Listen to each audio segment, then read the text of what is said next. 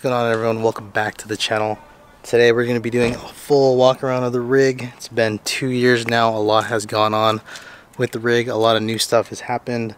Um, a lot of new stuff under the hood. So we're just going to work our way from the front all the way to the back. And I'm going to show you what we've added. So starting out in the front, there's a bunch of new additions, but we're still rocking the BPF metal front grille. It's kind of beat up. Has a lot of rock chips, a lot of bug. I, I left a lot of bugs on here at one point and they just started eating away at the paint so I think I need to get that redone up but it's been holding up quite nicely. Um, we went with the Cali raised stealth bumper with the 30 inch light bar. The dual row 30 inch light bar in there really bright. Uh, just two regular Amazon D-rings. These are new. These are the GTR lighting headlights. They're basically just replica TRD Pro headlights. $600, which is about half-ish off of the TRD Pro ones. Um, also, I got these. I don't know if I ever mentioned them, but these are dynamic, diode dynamic fog lights in amber. I believe these are the SAE ones where you can run them in the middle of night on the road. They're made for the road, so they're not super bright, but they're bright enough to light everything up. the new bumper looks really, really nice. I haven't had any issues with the light bar. It's been pretty bright. It's actually helped out a lot on the trails, especially if you're the lead. Um, yeah, but we went with that because Cali Raised is a sponsor. And if you guys need anything from Cali Raised, here is my code, get 5% off. I also have a front camera from Running for Tacos. It's in the garage, I haven't put it on yet, but I think I'm gonna drill in here somewhere. And then that's where the front camera is gonna go. So let's move on into the hood. Oh, there you go. That's new. It's the Spiker Engineering single strut. Got that from running for tacos. Excuse the messy engine bay. I just never clean this. I always plan to, but I never do. Um, so basically the only thing I really want to show you guys is this. This is a switch I'm running. This is the Garmin power switch. It's all filled up. Um, the wiring looks kind of shabby, but it all works fairly well um, for all my accessory lights. Uh, I'll show you all of those eventually in this video, but it's full six accessory lights plugged into that.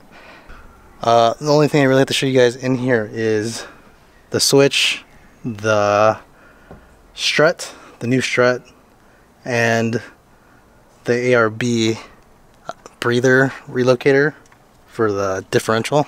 That's pretty much it underneath the hood. Moving on to the side, we switched out the Rigid Industries ditch lights for Cali raised ditch lights. These are the side projecting ones. I kind of like them a little bit more. They're a little bit more beefy and they shoot a lot more light outwards as well.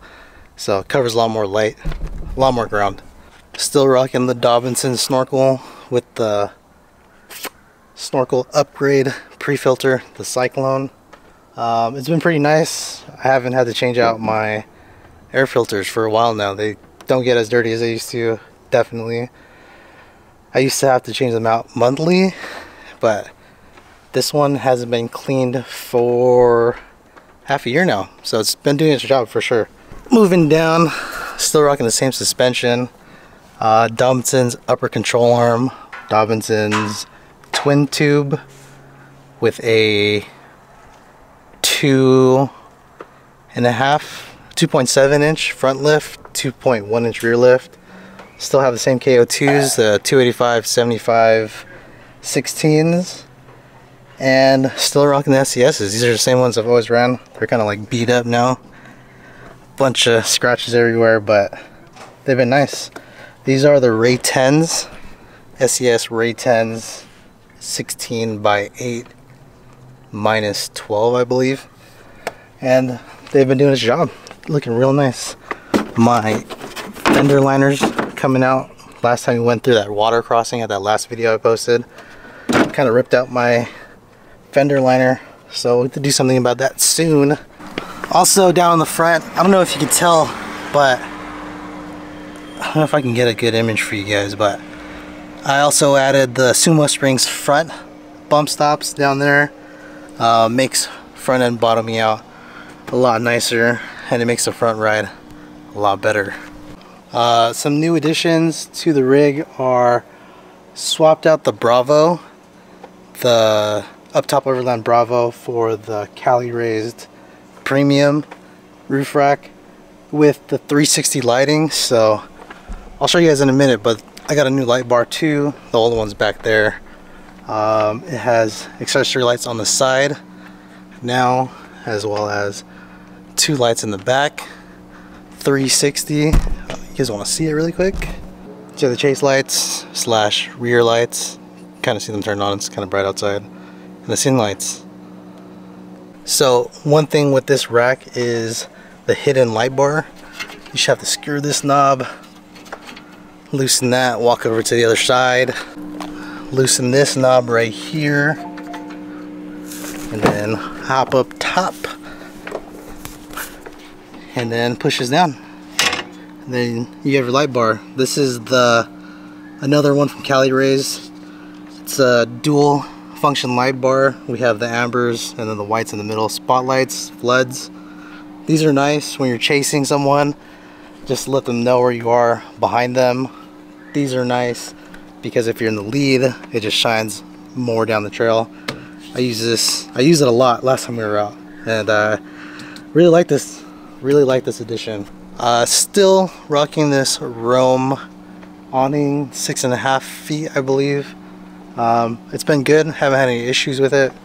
It's fairly light for what it does and really easy to set up and take down still rocking the R4T rock sliders.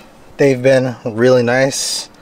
I did bang the other side a couple times, so had to repaint it with some resto, but they've been pretty well. Taking a beating. Um, see if I can show you guys. I don't know if you can tell.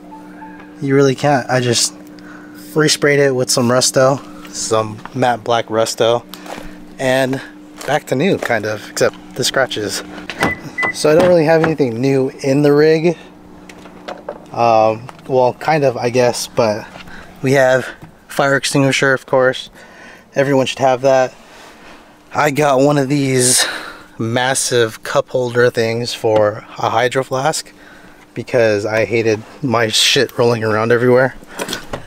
Um, still running this Ram rail from Expedition Essentials with a little arm for my Garmin. So running this Hondo Garage vent, Hondo Garage vent ram ball arm mount.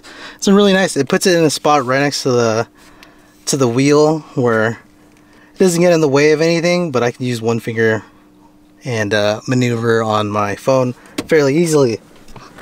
Uh, aside from that, there's nothing really new inside other than maybe a couple of these patches, but I think these are going to come off soon because they just fall off so easily. Um, yeah, so these patches are a no-go anymore. I might have to take them all off. The bed has had multiple iterations on it um, this year. First, I was just running the soft topper, then I added the up top overland soft top compatible rack um, that was nice for a while. I started working with Cali raised, so I got rid of that and moved on over to the Cali raised low profile, low height rack. Uh, it's been working out pretty well.